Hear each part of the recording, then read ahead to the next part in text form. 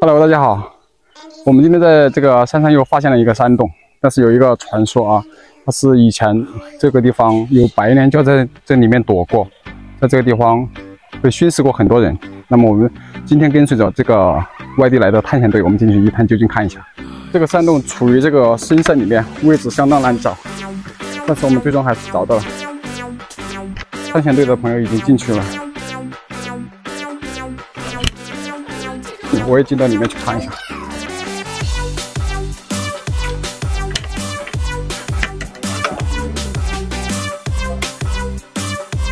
找到东西了没有？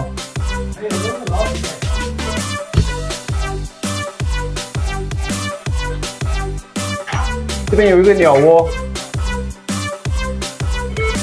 我们在这个白娘教的洞穴里面找到了第一个铜钱，这是真实的。这个洞穴里面肯定以前是有人生活过的，还有这种瓷的这种碗片，碎的。这边有一个罐子，这个应该是个古董了，看能不能拼起来。我尝试一下，这个是土做的，要是陶瓷的还可能支起来。这边有一个碗。这个应该是个劣质品，这边都已经吃掉了。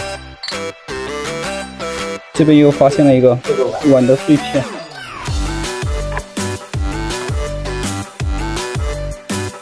古董，相当于说是一个古董了。绝对是个古董，但是它不值钱呢，没什么价值。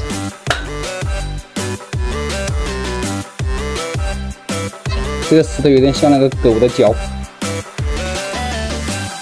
上面有个小的洞腔，很小。原本那个阿姨说这个洞是上下相通的，这个也不是相通的呀。我看一下这个石头是不是透明的，这个也不是透明的。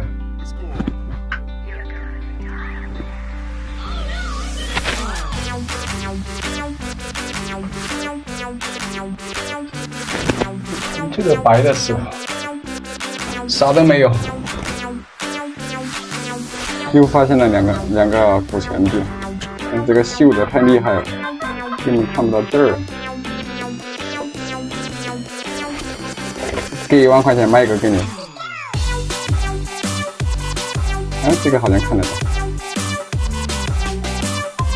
好像也是这个是乾隆的，两千，三千，四千。五千，全能的全能的进价啊，从一块钱开始。这个应该也是全能，这个东西里面就发现了三个。今天收获还算可以，这里又找到了一个，估计里面还有。这个太小了，探测仪的话根本就探测不到，太小。但是发现一桶银锭的话，估计都发财了。找一下。能不能发现个别的东西？这古钱币太没价值了，又找到了一个。要是能找到点别的就好了。这个真没有了。哎，臭了吧？又被别人骗喽！这个洞啥都没有啊！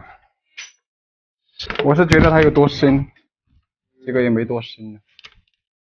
这边有一个侧洞。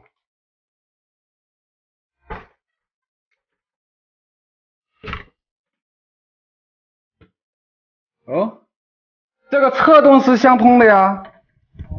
对啊，那边看得到光亮啊。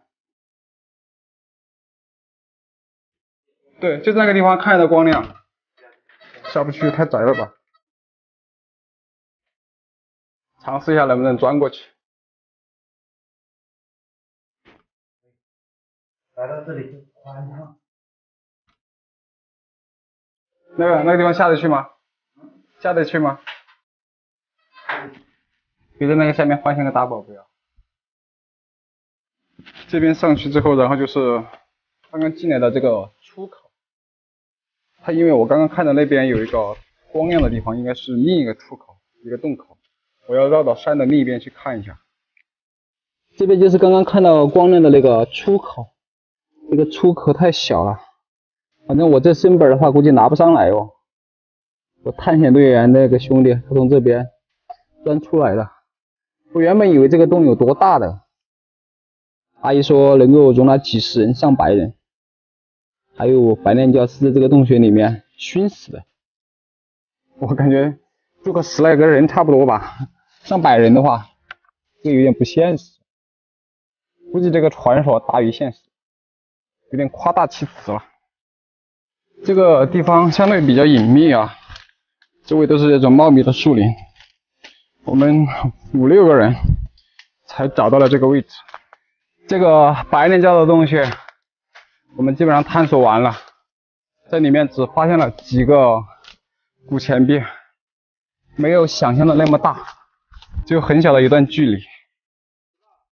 我们看一下外面能不能找到一些其他的东西。在这个位置好像又发现了贵重的金属。谁这么有钱把黄金埋在这个地方？我们要掏起来看一下。哎，这个地方埋的东西有可能，这是有可能。我搞，锤子啊！这啥？一块铝片，我操！大失所望啊！谁喝的红牛？把罐子扔在这个地方了啊！这个洞子失望而归啊，啥都没找到。你们慢一点啊！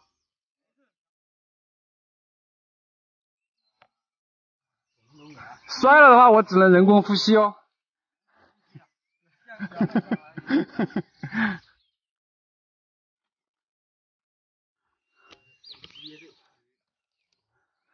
拜拜了，这个洞子拜拜，太晚了，没有了。这个洞没什么内容，对，啥都没有。